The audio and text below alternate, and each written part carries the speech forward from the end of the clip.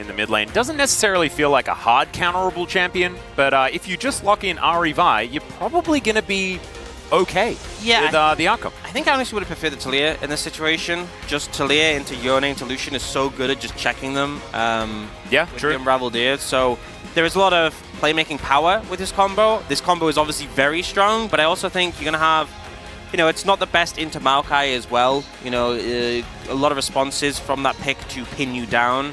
Uh, but I still think it's a really solid draft for T+. I do think the top lane matchup isn't that fun.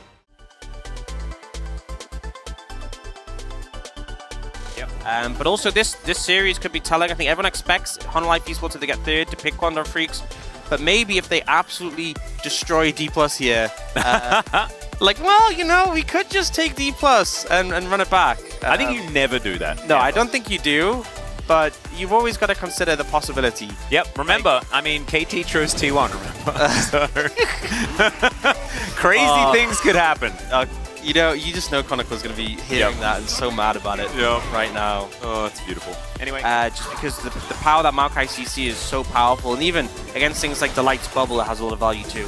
yeah, I would suggest that Kellin is going to buy the earliest possible Mikael's, as now Delight is going to do a lot of damage to Kellin. I'm just uh, well, not happy with the outcome, but he's happy with getting just one Void uh, Grub and moving away. Ooh, Bubble is going to miss there, as now Viper is going to get snared by the Gravitum. A lot of damage onto Kellin here, but he's still moving forward. If you do unbind the soul, uh, you can definitely just uh, always land those charms. Lucid's coming on in here, Doran does have that Mega Gnar coming up, but it's a really good avoidance of that wallop. And okay, Nature's Grasp comes down, cease and desist just to go through the CC, and there's first blood. Still, Zeka is going to rotate in, and I don't think this fight is over just yet. Still, he gets underneath the turret, and with Showmaker moving in, looks like D Plus are going to get away with it Yeah, I mean, for quite some time. Yeah, I mean, he did kind of fall off, when we didn't see him. Oh, Oh, yeah, there's a dash in from Viper. Gets slowed down here by the Glitter Lance as Tidal Wave coming on in as well. They get the knock up. There's the bubble onto the Lulu, who's going to flash. Does Yeah, and I uh, in this trade. uh, we see Zeka moving over already. He needs to be here yesterday if he wants to prevent this play. Well, uh, Nabar is not in a great position, and the CC is just chained to high heaven. Zeka moving on in now as Showmaker wants to land this charm, but Zeka, he's going to ult his way out. They do take. And now just doing what they can, but that is going to be an Infernal Soul. Also a culling. A lot of damage onto both Aiming and Kellin here. No chance for Showmaker to do anything but pick up the farm. Yep, multi going to come on through. Spirit Rush is going to be the response here. Yep, so not able to do anything, and so now the next fight is going to be dictated by Hanwha Life Esports. As now Peanut, he'll press the Nature's Grasp button and now look for an opportunity to go in. Kellin is going to Mikael's himself. That is actually the right call here as Lucid happily able to tank things up. Now Showmaker moving in on the flank angle. Cease and desist comes down. They found their target as Zeka is in trouble, but he's ulting. He is going to get himself out. And D Plus now have to work out who else they can kill. Peanut might be the target they opt in for, but he's just going to Bramble Smash Flash, and they're able to take down Kingen. Humble Beast was playing this out so incredibly well. Orb of Deception flies down. Moonlight Vigil is decent. But it is not quite good enough as Showmaker looks for the backline. He finds Viper, who then dashes forward. It's aiming that's able to cut him down, but he dies himself. It's a double, though, in the end, as now Lucid going down low, and Doran getting some revenge here onto DK. The Na does come through, and it's a triple. Just welcome back to the game, Doran. One team fight, you're 4-2-0, you know? He just bounces back. That's how it works. You know, if there's there's like an agreement from both teams, we're going to be 5v5ing as, okay, Tidal Wave going to be avoided, and now the turret just goes down. Delight just booped over the wall, is now Viper by himself. He's going to get taken down so incredibly low, but that's still a massive ulti from Zeka. The answer is still there for D+, Plus though, as Lucid just punches the Lucian.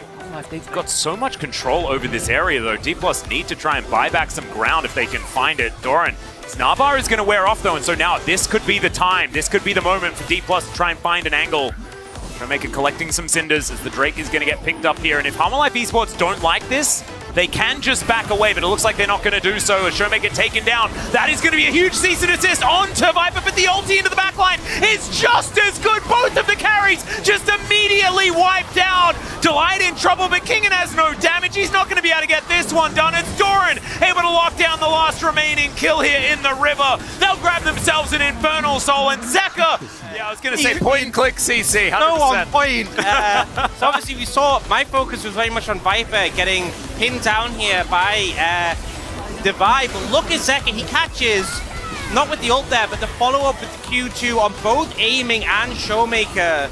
Just explodes them, and yeah, you got Viper. You lost both your carries for it.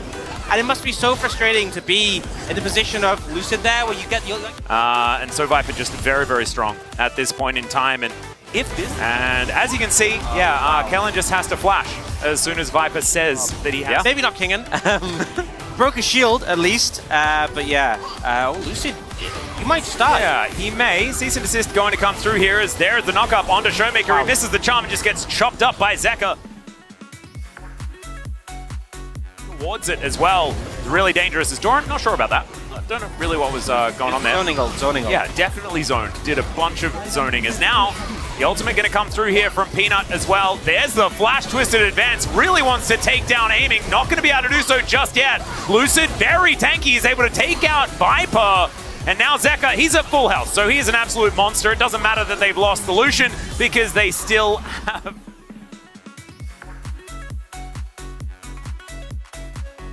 yeah. lining up to take down these turrets. They're to be able to take the first one is uh, Peanut, it's going to be difficult for him to be able to get out as Tidal Wave just sails by majestically. It's a great charm to connect there as Kingen, not quite as tanky as he otherwise could. Oh, wait, maybe he is. Never mind.